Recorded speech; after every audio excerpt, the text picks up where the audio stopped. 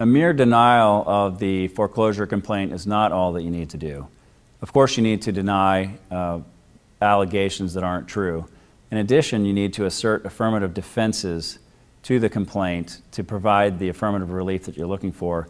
Perhaps it could result in dismissal of the foreclosure complaint altogether.